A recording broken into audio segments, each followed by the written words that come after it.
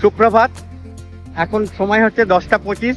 আমি আবার বেরিয়ে পড়েছি আপনাদের একটা নতুন দর্শনীয় স্থান দেখানোর জন্য। আজকে রবিবার, আর তারিখ হচ্ছে মার্চ মাসের দশ তারিখ। আজকে আমাবস্যা, আজকে আমি আমাবস্যার দিনে আপনাদের একটা জাগ্রত মন্দির, কালী মন্দির দর্শন করাবো। সেই কালী মন্দিরের নাম হচ্ছে কাপাসিয়া কালী মন্দির। আমার জার্নি শুরু হলো কেষ্টপুর থেকে বাসে করে মধ্যমগ্রাম চৌমাতার উদ্দেশ্যে। আজ আমি আপনাদের এক অজানা মন্দির দর্শন করাতে নিয়ে যাব। যে মন্দিরে মা কালী, মহাদেব ও মা মনসা পূজিত হন। এই মা কালীর মন্দির কবে প্রতিষ্ঠিত হয়েছিল কেউ জানে না।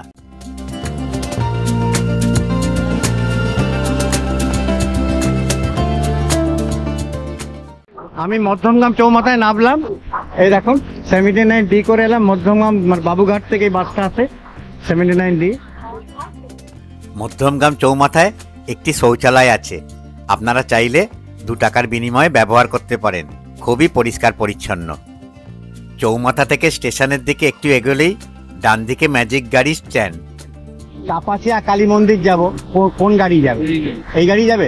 আমি একটু বসতে পারি তাহলে? এই মধ্যমগ্রাম চৌমাথা থেকে আমি লোককে জিজ্ঞেস করলাম এখানে ম্যাজিক গাড়ি যাচ্ছে। মধ্যমগ্রাম চৌমাথার থেকে ম্যাজিক গাড়িটা কিংস্টন কলেজ যেটা বারাসাতের ওই অবধি যাচ্ছে মাঝখানে কাপাসিয়া কালী মন্দির পড়বে। এই কাপাসিয়া কালী মন্দিরটা একটু অফ রুটে তাই জন্য ডাইরেক্ট আপনি কোনো বাস বা টোটো বা অটো পাবেন না। আর আপনারা যদি মধ্যমগ্রাম চৌমাথা থেকে অটোতে যেতে চান তাহলে হাজের হাজেরহাট ব্রিজ বলে একটা জায়গা আছে সেই ব্রিজে নামবেন। ওখান থেকে আবার এই ম্যাজিক গাড়ি কিন্তু আপনাদের ধরতে হবে। তাই আপনারা যদি মধ্যমগ্রাম আহ, চৌমাথা থেকে ডাইরেক্টলি ম্যাজিক গাড়ি ধরে নেন তাহলে কি হবে? আপনাদের বসার জায়গা পেয়ে যাবেন। কুড়ি টাকা ভাড়া নেবে। পনেরো থেকে কুড়ি মিনিটের জার্নি। তবে এখানে এসে একটু আপনাকে ওয়েট করতে হবে। যতক্ষণ একটু প্যাসেঞ্জার হচ্ছে, ততক্ষণ কিন্তু এই ম্যাজিক গাড়ি ছাড়বে না। মধ্যমগ্রাম চৌমাথা বাস থেকে নেবে, একটু মধ্যমগ্রাম স্টেশনের দিকে এগোবেন, তাহলে দেখবেন যে এই ম্যাজিক গাড়ি স্ট্যান্ড রয়েছে। যে কাউকে জিজ্ঞেস করলেই বলে দেবে, এই ম্যাজিক গাড়িতে করে আরামে আপনারা এই কাপাসিয়া কালী মন্দিরে চলে আসতে পারবেন। আপনারা যদি ট্রেনে করে মধ্যমগ্রাম স্টেশনে নামেন, তাহলে স্টেশন থেকে বেরিয়েই আপনাকে হেঁটে ব্রিজের শেষে এসে এই ম্যাজিক গাড়ি ধরতে হবে। তবে এখান থেকে বসার জায়গা নাও পেতে পারেন। সব থেকে ভালো হবে স্টেশন থেকে টোটো করে দশ টাকা দিয়ে চৌমাথায় চলে এসে ম্যাজিক গাড়ি করে এই মন্দিরে চলে আসা। আসছি ভাই। আমি এইখানে নামলাম। এই তিন মাথার মোড় দেখুন। এই তিন মাথার মোড়ের ডান দিকে আমাকে যেতে হবে কাপাসিয়া কালী মন্দিরের জন্য। আর ম্যাজিক গাড়ি চলে গেল এইদিকে। এখানে একটা সাইনবোর্ড দেখতে পারবেন সাজিরহাট লেখা রয়েছে এইদিকে সাজিরহাট যাবে যেখান থেকে আমরা গাড়ি ঘুরলাম ব্রিজের একদম আমরা আধা গ্রাম্য পরিবেশে চলে এসেছি। কিছু পাকা বাড়ি চারিপাশে কিন্তু পুরোটাই মুসলিম অধ্যুষিত জায়গা। আমি যেখানেই যাচ্ছি সেখানেই গ্রাম্য পরিবেশ। ভালো লাগছে। কিন্তু পিচের রাস্তা দেখুন আধা গ্রাম আধা শহর বলতে পারেন। মধ্যমগ্রাম চৌমাথা থেকে আমার ম্যাজিক গাড়িতে টাইম লাগল আধ ঘণ্টা। আগে বলেছিল কুড়ি মিনিট, কিন্তু ওটা কুড়ি মিনিট নয়, আধ ঘণ্টা লাগল। এই যে দেখুন, এখানে একটা মসজিদ আছে, এখানে লেখা রয়েছে কাপাসিয়া কালী মন্দির এই দিকে তো এই দিক দিয়ে আমাকে কালী মন্দির যেতে হবে। ডান দিকে মসজিদটা পড়বে, আর সোজা আমাকে কালী মন্দিরের রাস্তা এটা। তো আপনাদের আপনাদের আমি যতটা সম্ভব ডিটেলসে কিন্তু রাস্তাটা দেখানোর চেষ্টা করছি। কেননা এই রাস্তাটা যতক্ষণ না আপনারা জানবেন, ততক্ষণ কিন্তু আপনারা এই মন্দিরে আসতে পারবেন না। তো অনেকে হয়তো এই মন্দিরে আসার ইচ্ছা থাকবে আমার ভিডিও দেখার পর। তাই আমি চেষ্টা করছি যেন ডিটেলসে আপনাদের এই রাস্তাটা দেখানোর। চলুন তাহলে। এই মন্দিরে কিন্তু দূর থেকে আপনারা কিছু বুঝতে পারবেন না। আপনারা যদি ফ্যামিলি নিয়ে আসতে চান, তাহলে কিন্তু আপনারা, আমি বলব ডাইরেক্টলি ওই সাজের হাট যেখানে ব্রিজটা ওইখান থেকে আপনারা অটো বুক করে চলে আসবেন অটো বা টোটো বুক করে চলে আসবেন, তাহলে আপনাদের সুবিধা হবে। নইলে এতটা পথ বয়স্ক মানুষের হাঁটা একটু অসুবিধা আছে কিন্তু। যেখানে ম্যাজিক গাড়ি নামিয়ে দিল, ওখান থেকে প্রায় দশ মিনিট তো আপনাকে হাঁটতে হবে। আমরা অবশেষে চলে এসেছি কালী মন্দিরের মূল প্রবেশদ্বারের সামনে। এই মন্দিরের বাইরে থেকে আমরা কেউ বুঝতে পারব না এরই মধ্যে প্রাচীন ও জাগ্রত এই কালী মন্দির অবস্থিত। এটা হচ্ছে মন্দিরের প্রবেশদ্বার। ওইখানে একটা মেন গেট গলির মুখে তারপরে সেকেন্ড গেট হচ্ছে এইটা। এবার আমি মন্দিরে প্রবেশ করছি।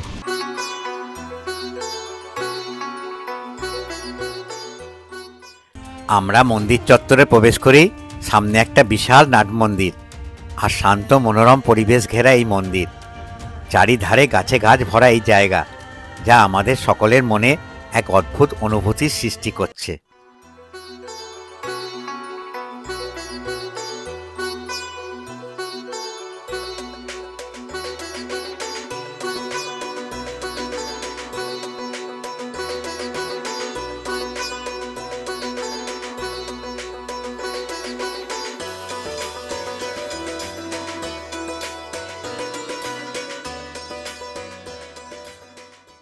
প্রথমে প্রবেশ করেই সামনে সুন্দর রেলিং দিয়ে ঘেরা নাট মন্দির, যেখানে চেয়ার পাতা আছে দর্শনার্থীদের বসার জন্য।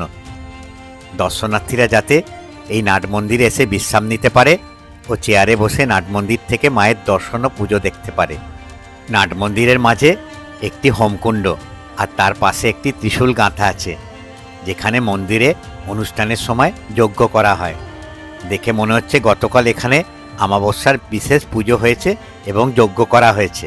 নাট মন্দিরের সামনেই দর্শনার্থীদের জন্য একটু পথ চলার জায়গা আর তার সামনে বিরাট ডালান ও মায়ের গর্ভগৃহ।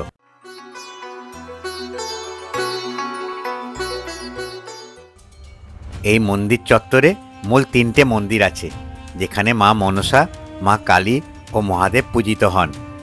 চলুন, আমরা এক এক করে সব বিগ্রহ দর্শন করি। এই কাপাসিয়া গ্রাম প্রধানত মুসলিম সম্প্রদায় মানুষের বসবাস। এখানে হাতে গোনা কয়েকটা হিন্দু পরিবার আছেন। এই মন্দিরের ইতিহাস আমরা এখানকার হিন্দু বাসিন্দাদের কাছ থেকেই জানলাম। এই মন্দির বিগত ষাট বছর থেকে হিন্দুদের হাতে এসেছে নিত্য পুজো ও সেবা করার জন্য। তার আগে স্থানীয় মুসলিম বাসিন্দাদের কথায় ওনাদের বাবা দাদুদের আমল থেকে এইখানে একটা মা কালীর থান ছিল। সেখানে বছরে একবার করে ব্রাহ্মণকে দিয়ে পুজো করা হতো। পরবর্তীকালে চার পাঁচ ঘর হিন্দু পরিবার এখানে আসার পর ওনাদের হাতে এই ভাত দিয়ে দেওয়া হয় মা কালীর নিত্য সেবা ও পুজো করার জন্য। সেই সালটা প্রায় উনিশশো ছেষট্টি। এই গভীর জঙ্গলে কি করে এই মা কালীর থান ছিল এবং কত শত বছর আগে তা এখনও কেউ জানতে পারেনি। পরবর্তীকালে আস্তে আস্তে মুসলিম ও হিন্দু উভয় সম্প্রদায়ের মানুষের সাহায্যে এই মন্দির আজকের আকার ধারণ করেছে। মায়ের নতুন বিগ্রহে সেই মায়ের স্থানে প্রতিষ্ঠিত করা হয়েছে। মায়ের স্বপ্নাদেশ অনুসারে এই মন্দিরে কোনো বলি প্রথা হয় না। কথিত আছে, মা এখানে কাউকে খালি হাতে ফেরান না। মাকে ভক্তিভরে ডেকে নিজের মনস্কামনা জানালে মা ঠিক ভক্তদের ডাকে সাড়া দেন।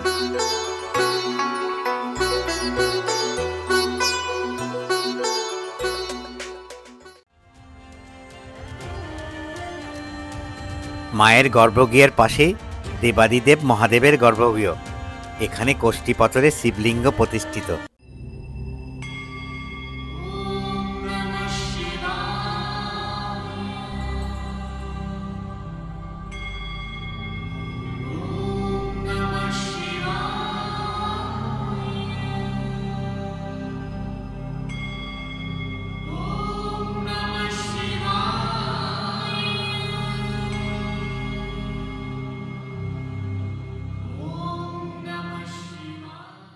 মায়ের মন্দিরের ডান দিকে একটি শতবর্ষ প্রাচীন মনসা গাছ আর তার পাশে সুন্দর একটি তুলসী মঞ্চ ও তার পাশে বেলগাছ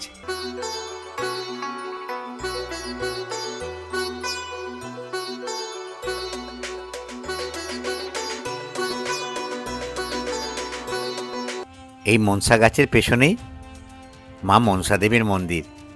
মা মনসা দেবীকে নিত্য এখানে পূজিত করা হয়।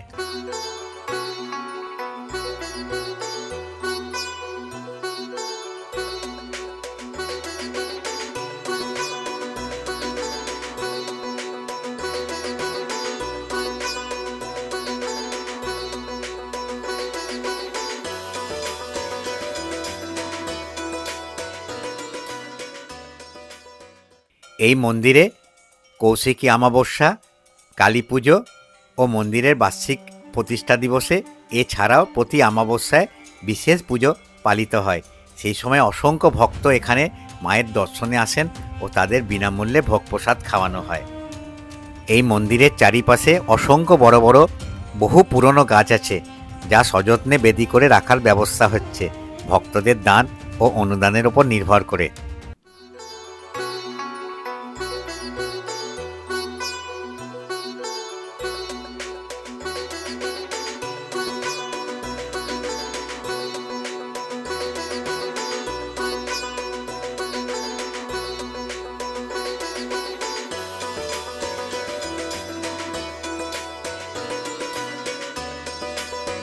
এই যে দেখছেন, এটি হচ্ছে যখন অনুষ্ঠান হয়, সেই অনুষ্ঠানে ভক্তদের ভোগ প্রসাদের রন্ধনশালা।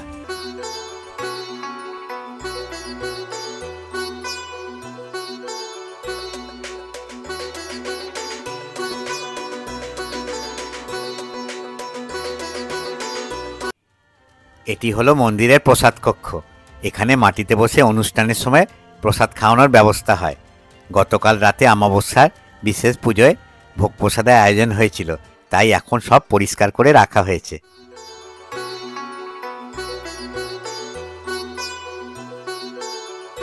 গতকাল আমাবস্যার ভোগ হয়ে গেছে, তাই আজকে একদম ফাঁকা মন্দির। এখানে সুন্দর টয়লেট ফেসিলিটিস আছে, আমি দেখে নিলাম, মহিলা পুরুষদের জন্য টয়লেট আছে। তো আপনারা যদি এখানে আসেন মানে কোনো অসুবিধা হবে না। তবে আপনারা দেখে আসবেন, আমি একটা ফোন নাম্বার দিচ্ছি, এই ফোন নাম্বারে আপনারা ফোন করে আসবেন। যে ওই দিন ভোগ প্রসাদ আছে কি না কেননা এখানে আমাবস্যা এবং বিশেষ পুজো ছাড়া প্রসাদের ব্যবস্থা নেই। মানে বসে খাওয়ার প্রসাদের ব্যবস্থা নেই। তাহলে আপনাদের এই যে ফোন নাম্বারটা আমি এখন দেখাচ্ছি, সেই ফোন নাম্বারে আপনারা ফোন করে তারপর আসবেন।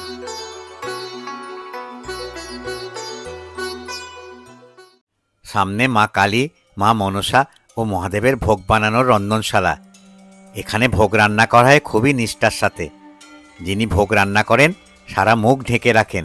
যাতে কথা বলার সময় মুখের কিছু ভোগের রান্নাতে না পড়ে।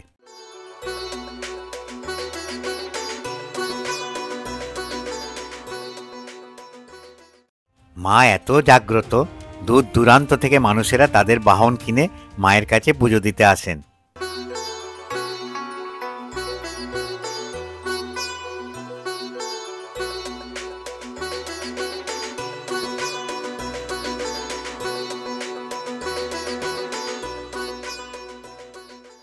এবার রন্ধনশালা থেকে ঠাকুরের কাছে ভোগ নিয়ে যাওয়া হচ্ছে। এক এক করে ভোগ নিবেদন হচ্ছে মা মনসা, মহাদেব ও মা কালীকে।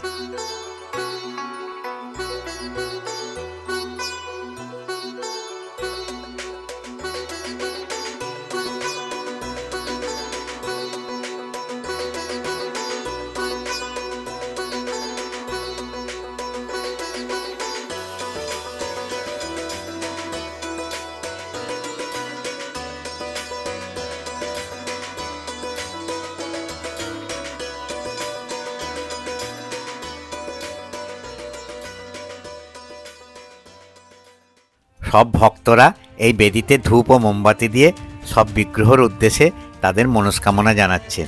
এই মন্দিরে প্রথমে মা মনসা, তারপর দেবাদিদেব মহাদেব ও সর্বশেষে মা কালী পূজিত হন। আমি আপনাদের সব দেখানোর চেষ্টা করছি।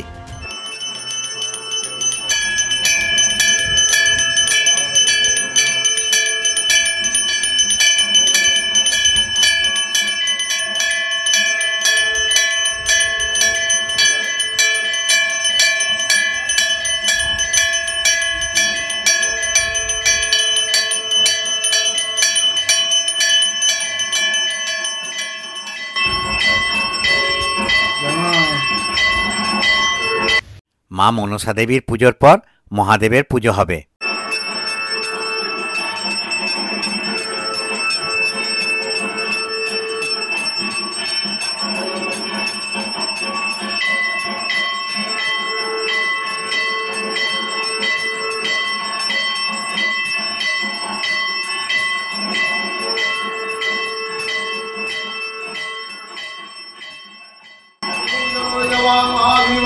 Mom. सर्वोपयुक्ता सर्वोत्तरमुजभ्याम् आवलद्वलगञ्जत्तसर्ववादिगम्बिदं पिङ्गये विजनदैकमल्लक्षत्वादिष्टम् अलासुमञ्जोरुमयोटुमोक्रीणाञ्जिलाम् धलोजीतावत्तहताम् ओर्दत्ताकलालिनी तावत्पुरावदनां क्रीडां कालूचताम्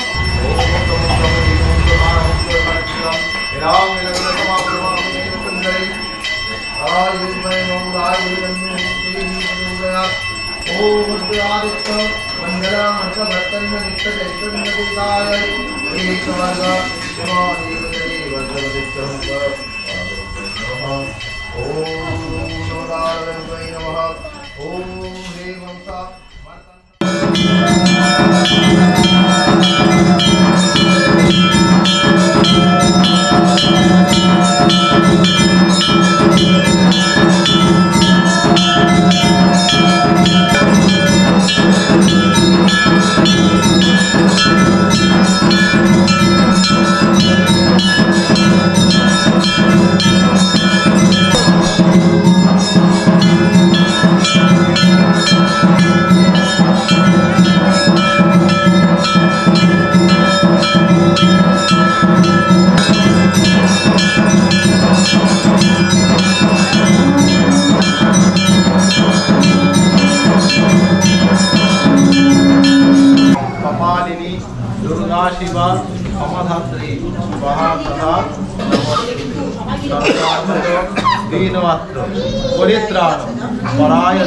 সর্ব আরতি হরে দেবী। নারায়ণী নমস্তে নম। মায়ের পুজোর পর গর্ভগৃহ বন্ধ হয়ে যাচ্ছে।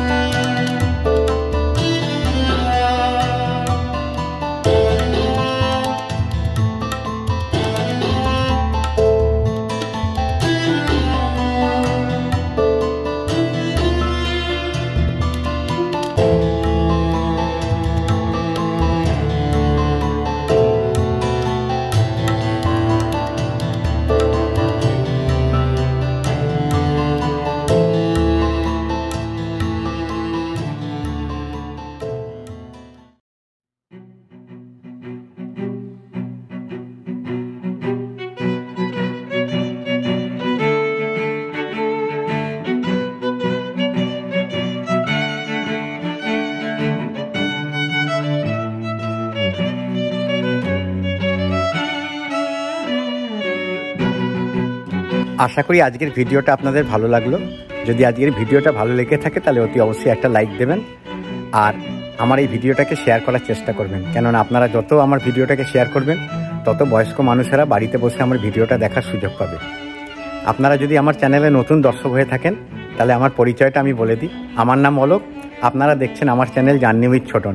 আমি নানান দর্শনীয় স্থান, মঠ, আশ্রম, মন্দির ঘুরে বেড়াই এবং তার ভিডিও তুলে আমার চ্যানেলের মাধ্যমে আপনাদের দেখাই।